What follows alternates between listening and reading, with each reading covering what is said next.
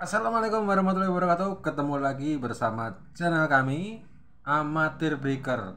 Teman-teman, saya lihat di algoritma juga di statistik juga audiens. Di situ ya banyak yang nonton red pertama upload-upload eh, pertengahan bulan itu female. Artinya apa? Saya nggak bikin konten-konten tentang kebutuhan wanita, kosmetik, tetapi hmm, banyak yang menonton itu wanita. Kenapa? Karena mungkin antena itu berpengaruh sekali ya di kehidupan wanita. Saya nggak tahu whatever. Dan saat ini saya lihat lagi untuk para viewernya atau audiensnya itu banyak sekarang pria umur-umur 35 45 artinya para breaker-breaker sejati. Tentunya Anda-anda terima kasih yang sudah subscribe di channel kami. Yang belum subscribe silakan subscribe, like, share and comment. Yang penting subscribe, like dan share yang viewer yang subscribe saya saat ini alhamdulillah eh, sudah mencapai 100 subscriber menuju ke 1000 subscriber. Ya terima kasih yang sudah subscribe. Yang belum subscribe segera subscribe. Untuk saat ini nggak akan bertele-tele lagi saya nggak akan bahas para hater lagi yang jelas. Saya akan di sini akan menjawab eh, video kemarin uploadan mengenai yang mentelanjangi Yusotek itu videonya ada yang protes di komen ada juga yang unlike. Itu kok lilitannya nggak dibuka bang? Ya kalau lilitannya dibuka nanti dipasang lagi kena air dong. Nah saya kan eh, bahas bagaimana jumlah lilitan di Yusotek dan bagaimana cara melilitnya. Akan saya gambarkan. Ini anggap ini bahan Yusotek ya ini stainless steel. Ini PVC atau eh, apa namanya bantalan koker. Kalau anda pakai power gede bisa pakai hmm, teflon. Pakai teflon. Nah ini. Nah, yang membedakan anten telek hygiene anten Hessler dan anten yang lain dengan apa sih bedanya Yusotek yaitu pelontar sinyal atau uh, basic basicnya. Nah, bagaimana cara melilitnya? Kita lihat guys, lilitannya ya. Saya sarankan Anda menggunakan bahan yang bagus ya. Dililitnya bisa menggunakan email. Anggap ini email kawat perak atau tembaga. Dengan sebelumnya mengebor bagian ground. Ini tidak terhubung guys.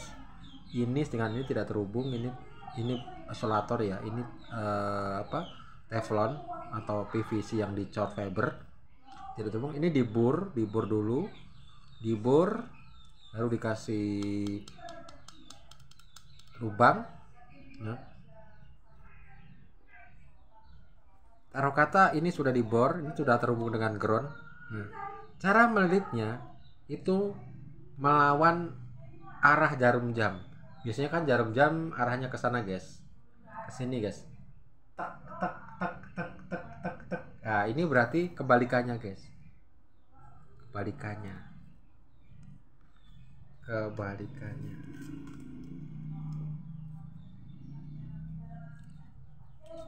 Empat lilit. Nah, contohnya spasinya satu senti boleh. Nggak pakai hitungan spasi asal rapi juga boleh. Nah ini guys. Oke. Empat lilit. Baru di sini dapatkan stick satu di yang sini atas dapat stick. Empat lilit. Nggak usah rapi-rapi juga nggak apa-apa. Tapnya itu di tengah. Misalnya empat lilit ya guys ya. Mohon maaf. Empat lilit ini ini spasinya ini tabnya di tengah. Di sini tabnya ini disolder di jumper RG58 yang bagus. Yang tembaga ori bukan tembaga sepuan. Ini disolder di jumper ini. Saya akan contohkan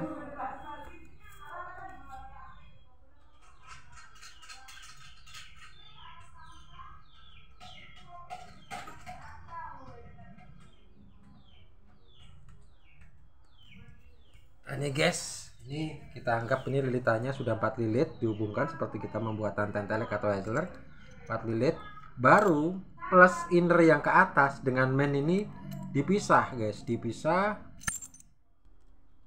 Ini dipisah. Yang ini dapat atas stick atas ini dapat stick bawah. Ya. Contohnya seperti ini ya. Di tab tengah ini 4 lilit ya guys ya. 4 lilit. Di tab tengah. Di tab tengah. Baru di sini diambil plus di tabnya plusnya dengan minnya ambil di sini guys di yang di bor tadi guys. Nanti disolder di kabel 50 ohm sepanjang 53 cm dari ujung konektor ini disolder ini disolder baru masuk. Nah ini kuncinya di sini guys. Kunci anten Yusotek tuh di sini. Bila kita tidak bisa membuat ini dengan sempurna saya katakan anda akan gagal.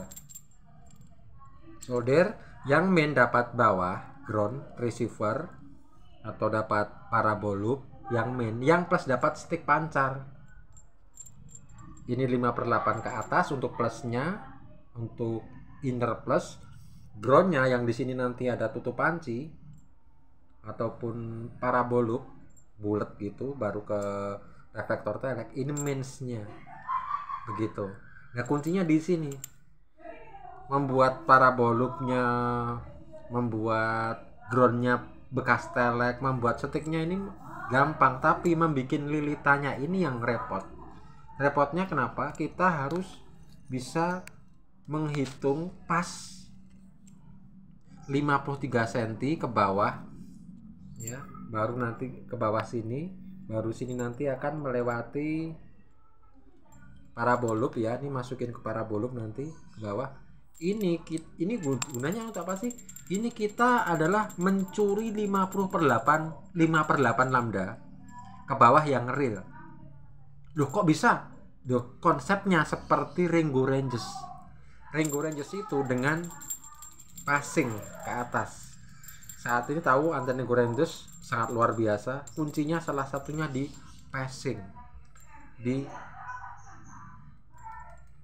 dekat loading inti atau base loading. Ya. Intinya anten ini unik. Kenapa unik karena nanti dihubungkan dengan e-connector baru ke kabel incun bisa pakai heliac bisa kabel 8D 5D terserah anda harga 58 nggak masalah. Gitu ya guys ya.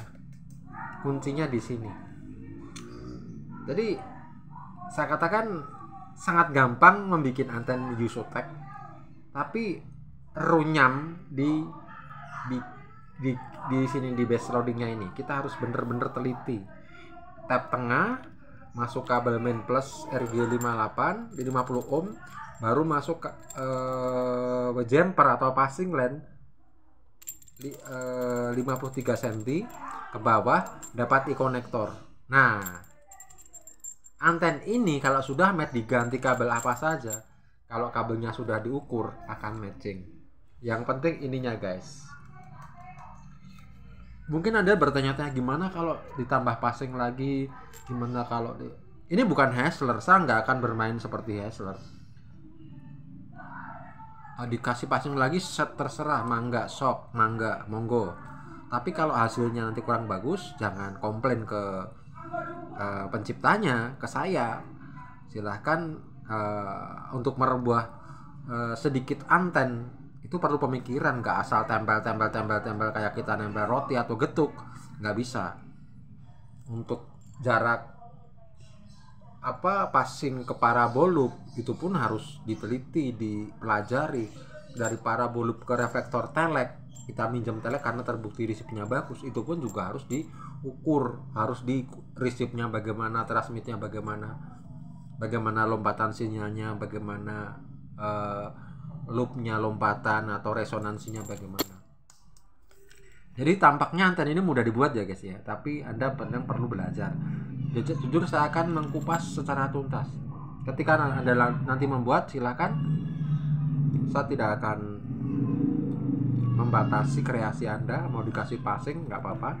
Tapi saya nggak akan jamin hasilnya karena Yusotek ini original 2 kali 5 per 8 lambda artinya anten ini setara dengan anten-anten internasional seperti Telek Hygiene V2R Isopul ya. Terus uh, anten-anten uh, seperti F22 jadi saya tidak akan merubah kodrat dari hukum anten yang sudah ada. Ingat saya tidak akan merubah kodrat hukum anten yang sudah ada cuman saya menginovasi menciptakan mengkrit lagi bagaimana dengan ukuran yang standar yang baku tapi mempunyai daya lompat mempunyai daya receive yang cukup bagus uh, mempunyai daya transmit yang cukup optimum. Terus ada yang menanyakan anten gimana? Sudah dicoba? Racing atau apa?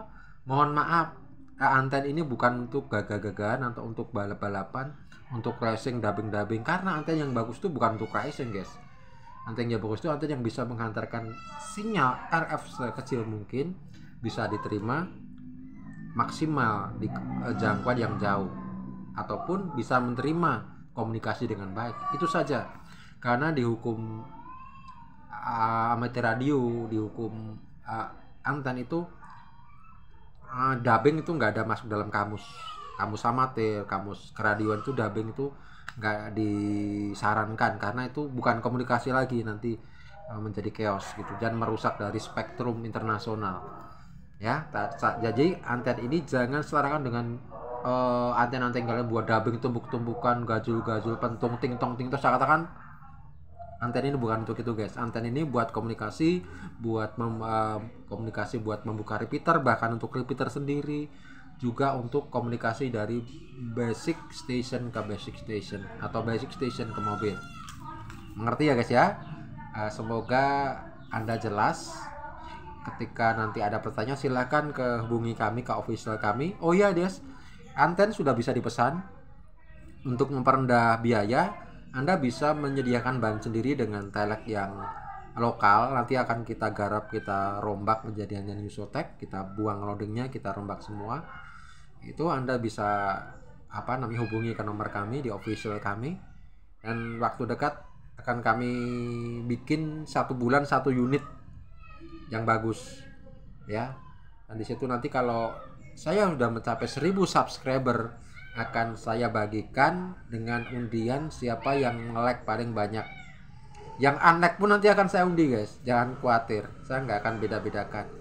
Oke terima kasih uh, terima kasih udah melihat saya. Jangan lupa subscribe like share dan komen ya guys ya. Komen komen subscribe subscribe. Terima kasih. Assalamualaikum warahmatullahi wabarakatuh. Sukses selalu